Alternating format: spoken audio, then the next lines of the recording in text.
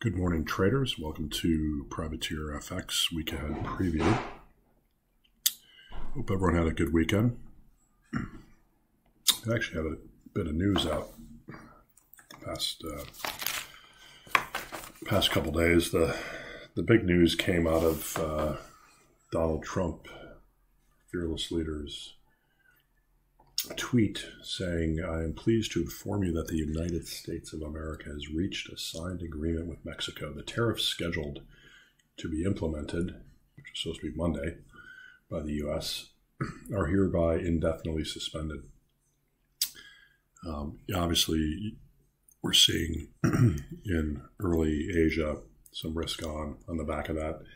Dollar MEX uh, has dropped about just just shy of 2%. Uh, we closed out at uh, 1960, excuse me, 1962. It's gotten down to, you can't see it here on this TradingView chart because it's uh, still an hour before you start seeing prints in some of these um, non Asian currencies. Um, got down to about 1922, I think has been the low thus far. Um, I don't have the 200 day moving average here, but the 200 day comes in 1920 today. A couple of the analysts' uh, reactions of this, of this news um,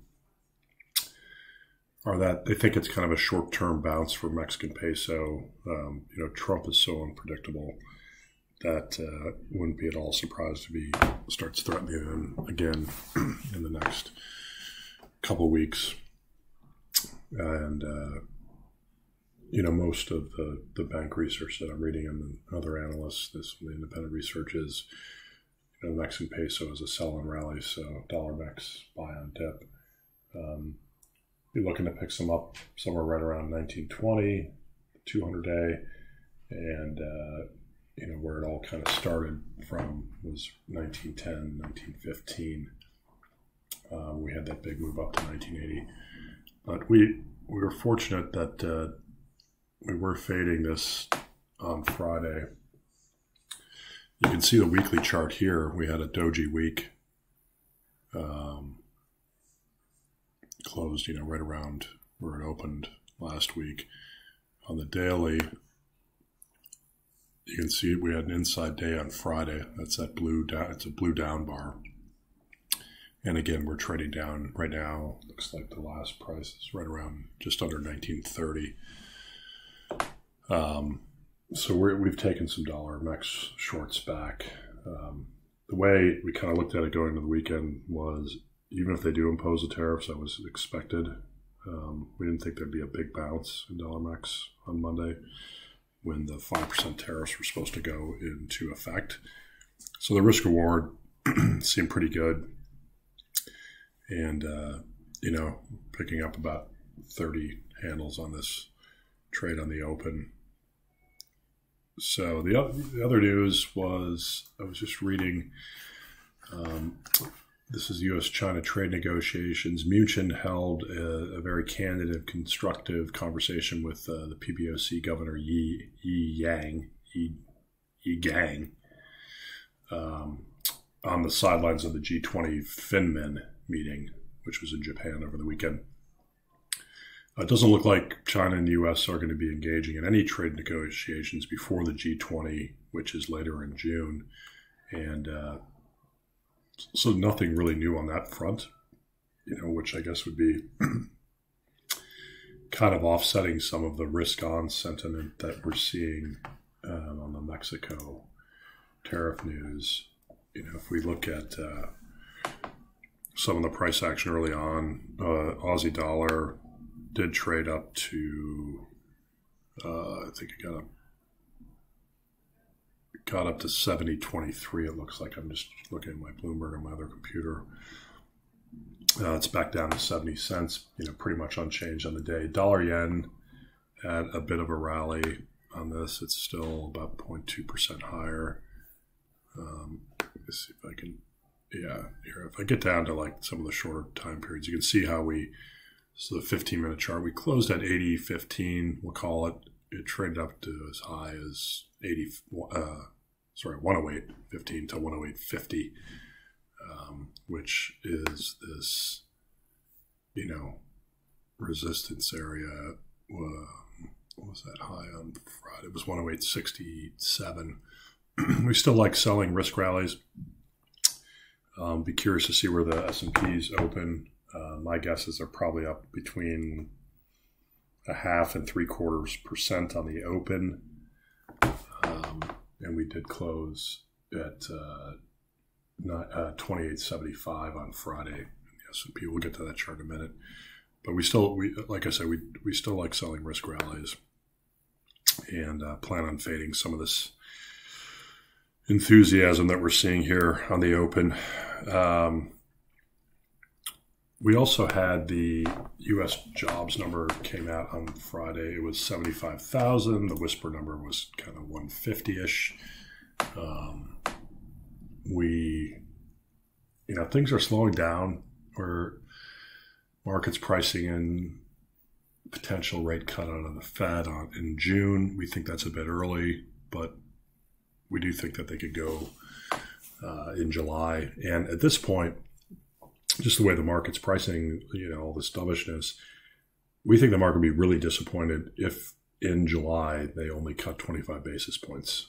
Um, we think the stock market basically will shit the bed if if they don't go a full 50. So something to look out for. You know, it's it's further down the road. Um, kind of like a range type trade and risk over the next couple weeks leading up to G20. And, um, you know, if nothing monumental comes out of that meeting, um, I think we could see dollar China above seven. You know, dollar China is actually held in there really well. Here's the daily. Um, you know, we did close kind of middle part of the range, but it, it made a new high. Here, um, we got up to like 696. So we haven't seen these levels, you know, for a while. Scrunch this down a bit. You know, clearly China's on top here, picking up some CNH, you know, and selling some dollars. But uh, you know, a breach of seven looks like it's in the cards in the next couple weeks. Goldman, I think, put out something. I believe it was on Friday. They're saying Internationally, a breach of the psychologically important seven level may be perceived as an escalation that makes an eventual trade truce even harder to achieve, which makes a lot of sense because that's the weaker yuan. That would be China just kind of letting the currency weaken, which is going to, um, you know, throw a wrench in, uh, throw a wrench in, you know, the U.S. wanting a, a weaker dollar for the whole reflation uh, story. And there's you know, been a lot of talk about uh, a weaker dollar helping reflate the global economy. Um, so it's kind of a battle here, and I do think that eventually seven's going to go, um, but probably not until um, after the G20 meeting. Uh, let's see. Let's take a look. See what else is going on here. Uh, let's we'll look at a couple. Let's look at the dollar index. Dollar index had a, obviously a, a very difficult week. Uh, we had that inside week two weeks ago, and then pretty much opened up and went straight down. And it, you know, looks to us that we'll probably retrace back down another about another dollar, maybe 95.50, 95.80 um, from here. Euro dollar had a good week. There's the big green bar and uh, you know obviously the the weaker jobs data out of the U.S. on uh, Friday, um, you, you, started seeing some more dollar selling. We still like Aussie dollar. Um, it had a decent week, closed kind of in the upper two thirds of the range. And uh, we do like this higher. We think we can get back to 71 cents, somewhere around there, before you see any of the real selling coming in. Uh, dollar CAD, you know, they had the, kind of the one two punch with the weaker US data and the stronger Canadian jobs data. So it had a really tough week. We started out the week above 135. We closed, you know, two and a half big figures lower. Um, here's the daily. You can see that we've now had one, two, three, four, four to five days. You know, pretty pretty significant dollar CAD selling, and we also broke a trend line that I don't have drawn here, but I believe it came in around 133.30 ish. Um, that's dating back to. Don't we go ahead and draw it? Where is that? That was at October. October 1st low. Yeah, that's a pretty good line. Right around 133.30 was the break. And that's on the weekly. Uh, whoops. Sorry about that. Just blew up the chart there. So we're short of dollar CAD still. We got lucky with the, the combination of the weaker US and the stronger Canadian jobs data. That was a risky one. Um, but uh, you know that's working out pretty well. We're gonna we're gonna try to stick with this for a bit. Um, what else are we looking at? We're also looking at we, have picked up some Aussie dollar and we're we're trading it against the crosses. We had a little bit of long Aussie versus the U.S. Um, but you know we've been short sterling. We've been short sterling Aussie and it's really not done much at, at all. Um, but you can see here, um, we had a doji day on Friday. It's a bit weaker here today, and that's you know more of the Aussie strength. I don't, there, don't think there was really anything coming out. The cable's pretty much unchanged. Um, you know, Aussie is up a bit, but we still like playing this. We think we can start taking out this low that we saw last week, or maybe even. Uh, get below this April 17th low. So we're short some sterling Oz, um, short a little bit of Euro which is not really working. Um, and uh, we had some Aussie CAD longs on middle of the week, and we stopped out, stopped out of that. That was that obviously got I got crushed on just the pure CAD strength and um, but we, we do we think that Aussie's got some room on the top side, and uh, you know, leading up to G20, and then I, I, think we'd be looking to fade it again. Take a look at some of the equity indices. Um, we've had a pretty nice, like really crazy retracement of this down move. You remember um, a week ago, I wasn't, uh, I did not do the video, um, but we opened you know, went down, made a new low, closed or tested a pretty big 2730 was a target for us for this short position that we put on um, up at 29.15, and we put some more on at 28.05. And we've been, we kind of stopped for profit on the way back up at, uh, at 2760, 2780. And, uh, yeah, that was, uh, at the time thinking, you know, why am I stopping out of this trade? Well, we've rallied another 100 points. I mean, this is just a crazy parabolic move higher, which I think needs to be faded as we approach uh, any, we get anywhere near 2,900. I think you get a chance to, to sell this again. Um, let me just run the fibs here. I don't know what the heck that thing is. Hold on. Run the fib, the all time high. Bear with me you know, we've already blown through a bunch of levels. I, I just can't believe how quickly the sentiment changes. I mean, equities, obviously, risk in general was really oversold. Um, so, you know, a bounce was due. And, uh, you know, people were short this thing from, we started selling it in early May and got lucky that it was a sell in May, go away type trade. But here's this 2900, 2906. We'll look to put this uh, short equity position back on. Same thing with Nasdaq.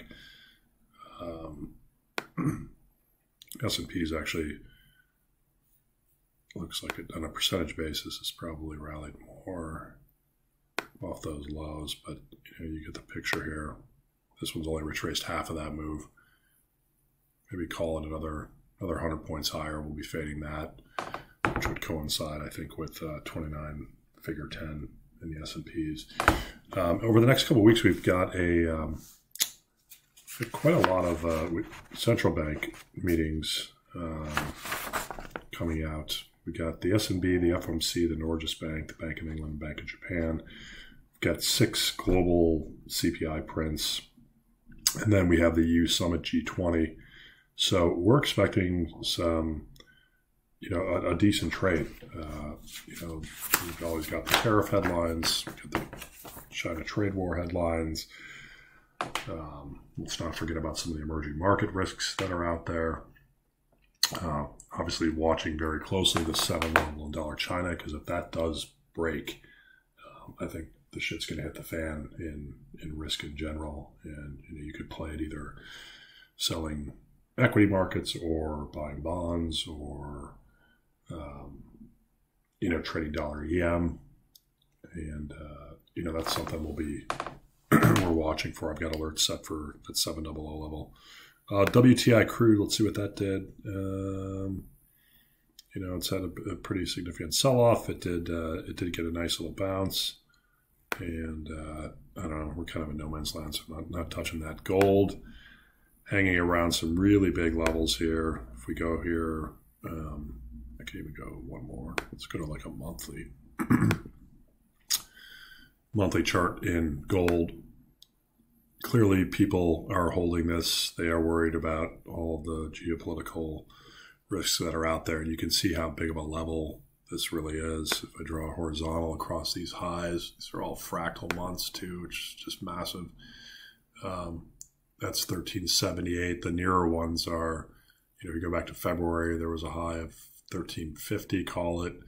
There's some more highs up here at 1370. So, this area here is is really key for, um, and that you know obviously that would be a they'd be buying gold if, if this does turn into you know more of a risk off situation. But in the meantime, we are we're trying to be very tactical, very nimble, um, leading up to the G20. But there should be some headlines to trade. There should be some decent. Uh, you know, sli- slightly heightened volatility leading up to it, and then uh, hopefully, uh, you know, we'll get a chance to sell this risk rally because we think that the the China trade story is, you know, in early innings, and uh, friends calling it a what was he calling it, like a U.S. China separation back in fall, and wrote some research last week or the week before calling it a divorce and this is not going to end well. We, I think, we're all in agreement on that, and which should make for some good trading markets. Um, you know, if you tactical and nimble.